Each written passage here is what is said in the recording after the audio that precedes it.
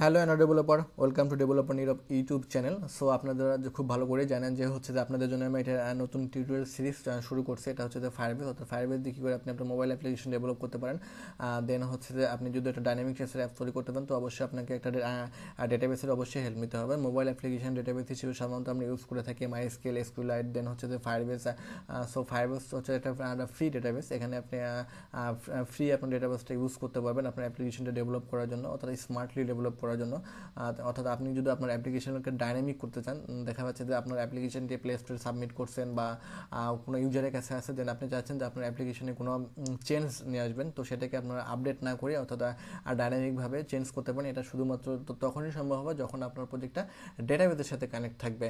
So গত lecture ভিডিওতে আপনাদেরকে আমি দেখিয়েছি কী করে আপনি আপনার প্রজেক্ট ফায়ারবেসের সাথে কানেক্ট করবেন। এবং তার আগের ভিডিওতে আমি ফায়ারবেস নিয়ে সাধারণ আলোচনা করছি। সো আপনি যদি সেই দুইটা ভিডিও যদি মিস করে যান, তো অবশ্যই আমার প্লেলিস্ট চেক করে দেখে নেবেন। দেন আজকে আপনাদেরকে আমি দেখাবো যে কী করে আমরা আমাদের ফায়ারবেজে আমরা হচ্ছে যে আমাদের ডেটাবেসটা ক্রিয়েট করব। সো আমরা হচ্ছে যে গত গত লেকচার ভিডিওতে যে হচ্ছে যে টেস্ট প্রজেক্ট নামে একটা প্রজেক্ট ক্রিয়েট করছিলাম অ্যান্ড্রয়েডের জন্য। সো আজকে আমরা এখানে ডেটাবেসটা কী করে ক্রিয়েট করব সেটা আপনাদেরকে আমি করে দেখাবো। ওটা এখানে দেখতে পাচ্ছেন, এটা আমাদের প্রজেক্টের মেইন পেজ আমরা যখন প্রজেক্ট ক্রিয়েট করে যখন লগ প্রবেশ করব, তখন এরকমটা ইন্টারফেস আমাদের সামনে আসবে। আর দেন এখানে আছে অথেন্টিকেশন ডেটাবেস অর্থাৎ এগুলো ফায়ারবেসের সার্ভিসগুলো আছে। দেন স্টোরেজ হোস্টিং সো আমরা ডেটাবেসটা ইউজ করব। দেন নেক্সট ভিডিওগুলো থেকে আপনাদেরকে দেখাবো যে কী করে আপনি ফায়ারবেসের ডেটা ইনসার্ট করবেন।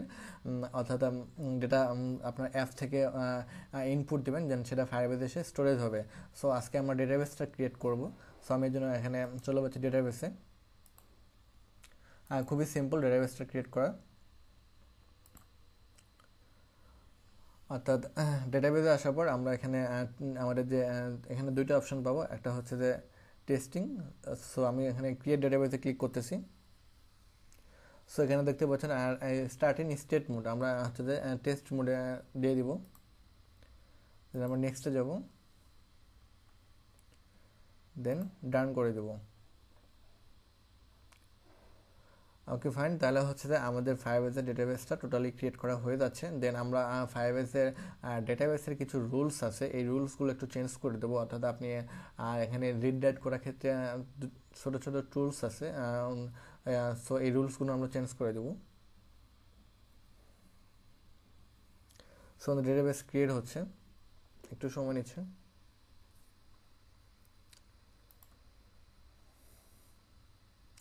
সো আপনারা যারা আমার এই ভিডিওটি দেখতেছেন, যদি ভিডিওটি ভালো লেগে থাকে, তো অবশ্যই ভিডিওটা লাইক দিবেন। দেন আপনি যদি আমার চ্যানেল নতুন হয়ে থাকেন, তো অবশ্যই আমার চ্যানেলটি সাবস্ক্রাইব করতে ভুলবেন না। দেন আপনারা যদি কোনো কিছু বলার থাকে, তো অবশ্যই কমেন্ট বক্সে কমেন্টস করে জানাতে পারেন। ওকে ফাইন তাহলে আমাদের এখানে ডেটাবেসটা টোটালি ক্রিয়েট করা হয়ে গেছে। দেন এখানে দেখতে পাচ্ছেন, এখানে দু ধরনের ডেটাবেস আছে। একটা হচ্ছে ক্লাউড ফাইল স্টোর দেন আরেকটা আছে হচ্ছে যে আপনার রিয়েল টাইম আচ্ছা ক্লাউডটা কি? ক্লাউডটা হচ্ছে যে ক্লাউডটা হচ্ছে এমন ডেটাবেস যে ডেটাবেস হচ্ছে যে অফলাইনেও কাজ করবে। অর্থাৎ সাপোজ আপনি আপনার একটা ইমেজ ফায়ারবেস থেকে আপনার অ্যাপে শো করা শো করাচ্ছেন। দেন সেই ইমেজটা যদি ক্লাউডে রাখা থাকে, তাহলে সেই আপনার অ্যাপে যদি ইন্টারনেট কানেকশন যদি নাও থাকে, তারপরে সেই ডেটা ইমেজটা কিন্তু আপনার অ্যাপের মধ্যে দেখাবে। এটা মূলত হচ্ছে ক্লাউড যেগুলো হচ্ছে যে অফলাইনেও কাজ করে।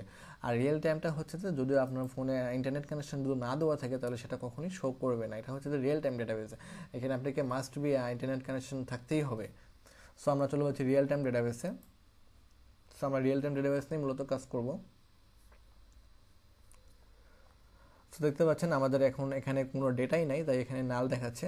দেন আমরা যদি আমাদের রিয়েল টাইম ডেটাবেসটাকে ইউজ করতে চাই আমাদের অ্যাপের ক্ষেত্রে সো এখানে রুলস গিয়ে আমাদের ছোট্ট একটু কাজ করতে হবে। আর তাহলে আমাদের ডেটাবেসটা আমাদের ইউজ করার জন্য প্রপারলি রেডি হয়ে যাবে। সো আমি চলে পাচ্ছি রুলসে রুলসে চলে যাওয়ার পর এখানে দেখতে পাচ্ছেন রুলস রিড ফলস করা আছে এবং রাইট ফলস করা আছে অর্থাৎ রিড রাইট দুটোই ফলস করা আছে সো এখান থেকে আমাদের রিড রাইট দুটাকেই ট্রু করে দিতে হবে। অর্থাৎ আমরা আমরা অ্যাপের মধ্যে আমরা ডাটাগুলো যাতে দেখতেও পারি দেন আমরা অ্যাপ থেকে যেন ডেটাগুলো পাঠাতেও পারি, এটাই মূলত হচ্ছে রিড এবং রাইট অর্থাৎ দেখা এবং হচ্ছে যে পাঠানো। সো এটা ডিফল্ট হিসেবে ফলস থাকে। আমরা এটাকে আমরা এখানে ট্রু করে দিব। তাহলে আমরা অ্যাপের মধ্যে থেকে ডেটা এখানে ইনসার্ট করতে পারব দেন আমরা এখান থেকে ডাটাগুলো আমাদের অ্যাপের মধ্যে নিয়ে যেতে পারব। সো আমরা এটাকে ট্রু করে দিচ্ছি।